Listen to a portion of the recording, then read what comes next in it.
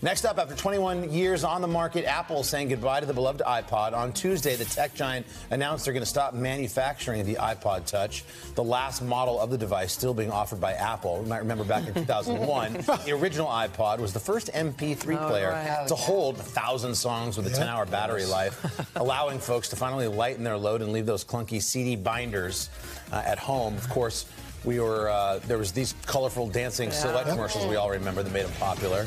The ads were very cool, and we all bought in. Do you guys remember making that switch from like Oh, the sure. huge, Oh, my huge, God. Huge- I remember a friend telling me you can have all of your music on something this big, and I was like, "What? I. Are you talking about?" And then the guilt to, you know, I would rip my CDs on, Oh, sure. yeah. you know, it'd be Using, like, using iTunes. Yeah. It changed Apple from a computer company to Yeah. this Yeah. lifestyle Yeah. brand that yeah. it is But did you feel guilty for throwing out your CDs? I did. I, I, I, I still I, have, I know. them some. By the way, you should keep your CDs. Let me just get to this next one if you're feeling nostalgic uh, about that iPod Touch. Apple saying they're going to continue, by the way. You can buy them as long as the supplies last.